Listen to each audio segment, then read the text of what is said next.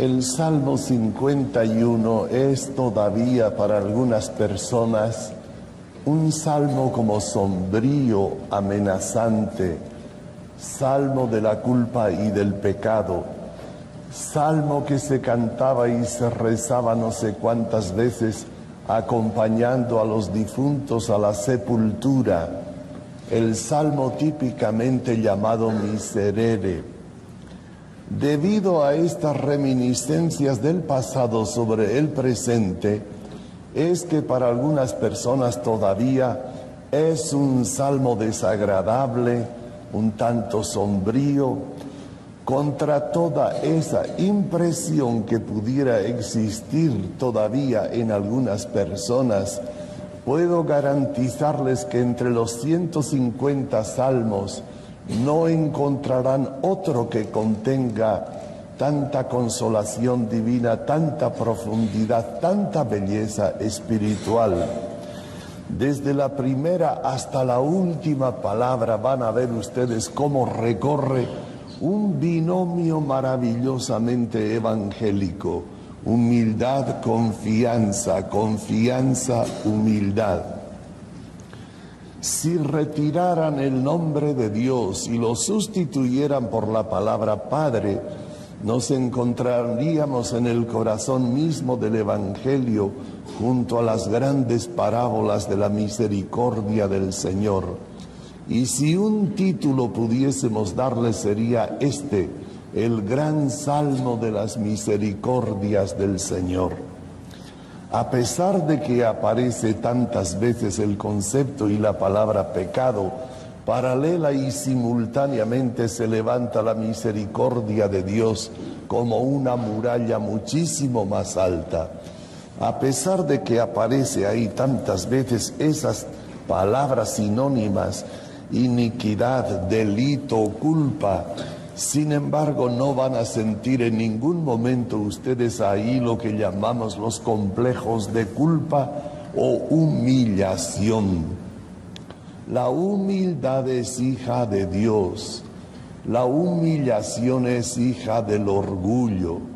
La humildad es la fuerza más positiva del Evangelio y de la humanidad. La humillación es autodestructiva. La gente se humilla porque siente rabia de no poder mantenerse dentro del cuadro de virtudes y valores que recibió eh, pues en su juventud o en otras épocas de su formación y siente ganas de castigarse a sí mismo. Humillación es una venganza en contra de sí mismo y de consiguiente la humillación es hija del complejo de omnipotencia, todo ello fatal. Y todo esto debido a aquella prédica que se ha hecho a lo largo de los siglos. Eres un miserable porque eres un pecador, porque levantaste la frente delante de Dios. Los gusanos que se arrastran por el suelo son más dignos de vida, que tú no mereces que el sol te ilumine, miserable pecador, y todas aquellas cosas de ese tono, creyendo que estábamos haciendo pues un servicio o una cosa agradable a Dios. ¿Cuál Dios? Un Dios que se sienta en el trono y satisfecho. He aquí la palabra sacrosanta, satisfacción. Satisfecho ese Dios al ver a sus pobres hijos torturándose, ensañándose contra sí mismos, golpeándose y y, ese Dios, al ver que están estos desgraciados hijos pecadores, están llorando y arrepentidos, bueno, pues ya está, ese Dios queda satisfecho en su furor. Bueno, ya ven que son proyecciones de nuestros instintos y sentimientos más salvajes. Qué cosa más contraria a lo que nos reveló Jesús no son cosas agradables a Dios, son los fondos más negativos del corazón humano, los fondos sadomasoquistas, no muy lejos de, la necrofilia y emparentados con el instinto de la muerte, ni más ni menos, lo más autodestructivo y horrible.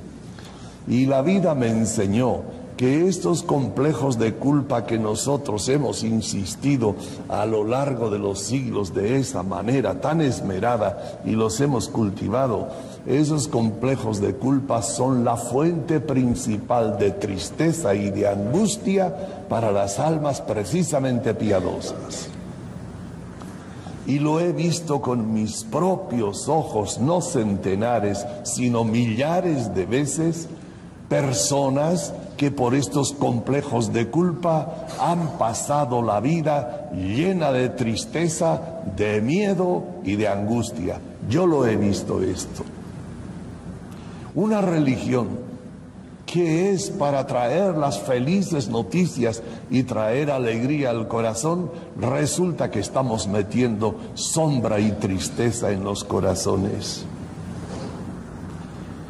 Y así se entiende, ya se pueden imaginar que esta gente a veces que comulga todos los días y piadosa y, y escrúpulos y, y, todo eso, todo fomentado sistemáticamente en el nombre de una teología desenfocada y antievangélica, así se comprende que esta gente muchas veces no son de ninguna manera un modelo de tolerancia, de caridad, de comprensión, sino todo lo contrario, de chismes y cuentos y picotear en todas las direcciones, no siempre, pero, pero esto se ha...